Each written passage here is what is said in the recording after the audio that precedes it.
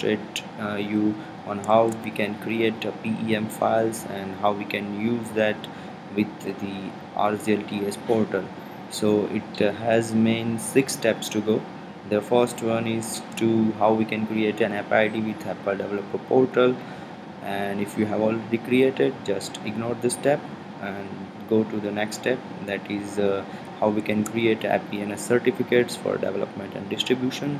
And then we have to import those certificates into our keychain. Then we we have to create a p12 file from those certificates. And then using that p12 file we can generate a pem file. And then that pem file will be used with uh, by the rzlts portal. So let's get started from step number one which is uh, how we can create an app id with the apple developer portal. Okay so here it is. Uh, open up developer.apple.com and go to member center. The, the screen will be appear. Log in to with your apple id and password.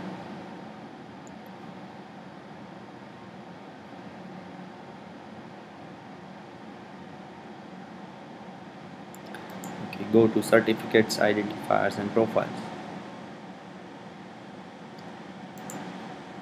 okay into identifier section we need to create a new one if we have not already created. Okay. I'm creating a application. Demo app. Explicit app id remember that uh, using the wildcard app id or push notification will not work. So we have to create uh, an explicit app id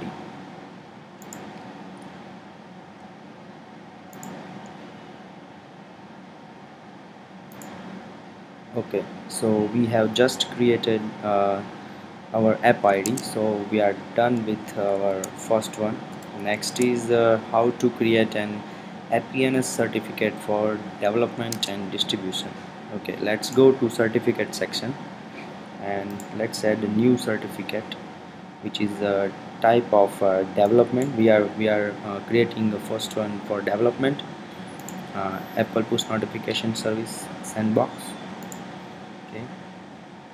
We have to create our app id from here com.rzlts.demo app which we have just created okay it will need a csr file. Okay how we can create a csr file?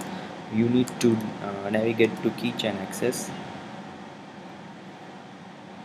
Okay in keychain access go to certificate assistant and just request a certificate from certificate authority. Okay here you can provide any any email address and the name and save it to your disk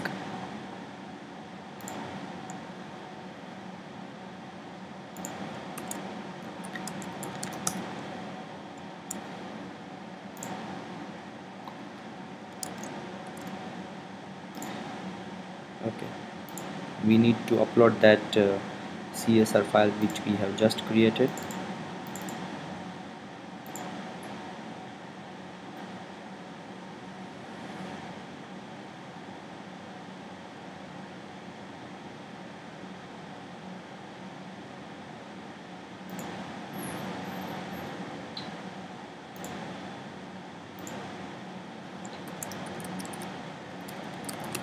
I'm putting it under development folder because this is a CER file of our development only.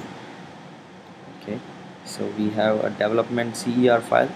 Now uh, let's create a new certificate the same way we have created for development. Now we are creating for production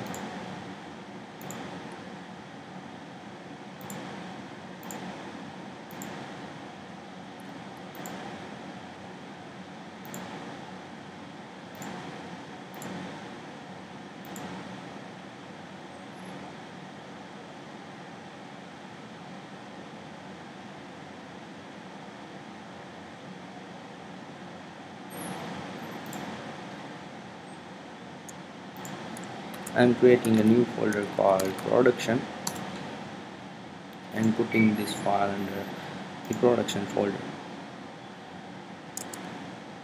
Okay so we are done with uh, creating a APNs certificate for production and distribution. Now we need to uh, import those certificate just created CER files into our keychain access. Okay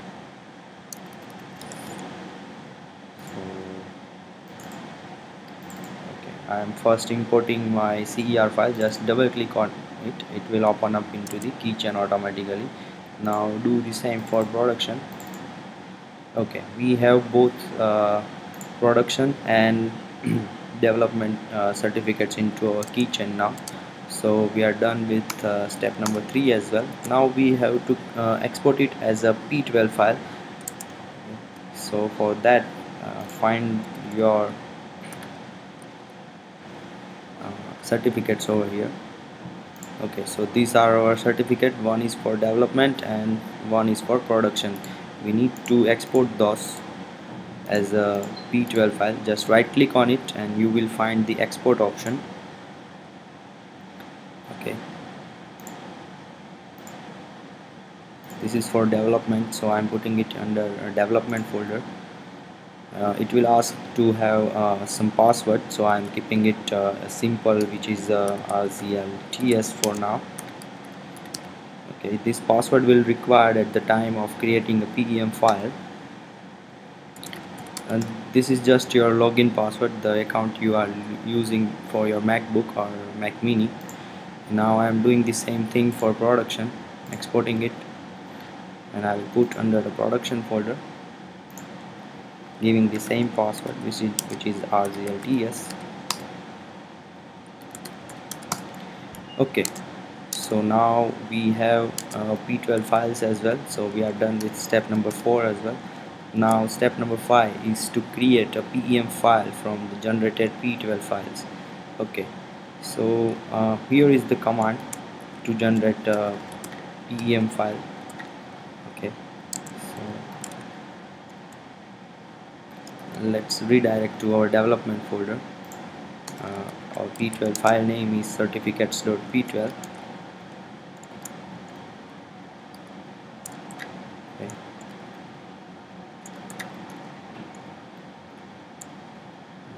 this is the outcome of uh, our p12 file which is certificates.pem I am giving two different name uh, certificates dev.pem and certificates production.pem file.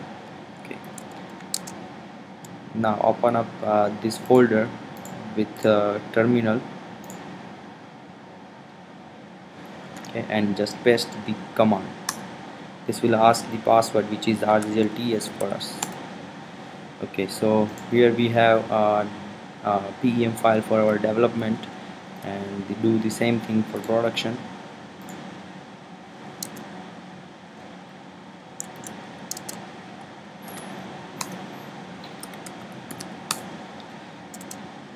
Okay so here it is. We have a production PEM file and development PEM file. So we are done with uh, step number five as well. Now we need to uh, create a new app in uh, RZLTS portal okay so here it is console.rzlts.com just log in with your affiliate account and go to navigate to uh, add an app. Okay.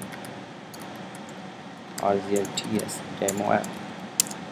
My package name package name was this fid com.rzlts.demo application.